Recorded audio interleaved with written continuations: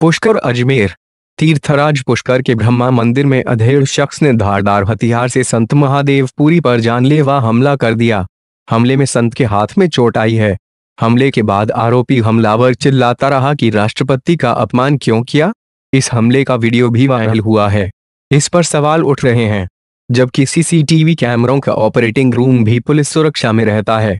हमला करने से पहले आरोपी हमलावर अशोक ने पहले संत को बाएँ हाथ से प्रसाद दिया और दूसरे हाथ से तलवार निकालकर हमला कर दिया। हमलावर ने संत महादेव पुरी तीन वार किए। हमले के बाद संत महादेव पुरी ने किसी तरह गर्भगृह में घुसकर अपनी जान बचाई। संत के पीठ व हाथ में चोटें आई हैं। हमलावर करीब दो मिनट तक ब्रह्मा जी की प्रतिमा के आगे हथियार लहराता रहा।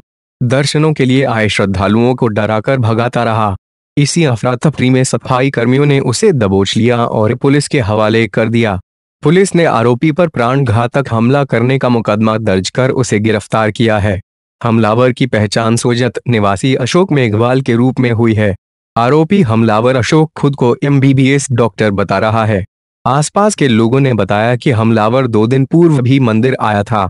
काफ़ी देर तक मंदिर के बाहर बैठा सुरक्षा पर सवाल। ब्रह्मा मंदिर आतंकियों के निशाने पर है। इसलिए यहाँ भारी सुरक्षा रहती है। मंदिर में निजी सुरक्षा गार्ड भी हैं।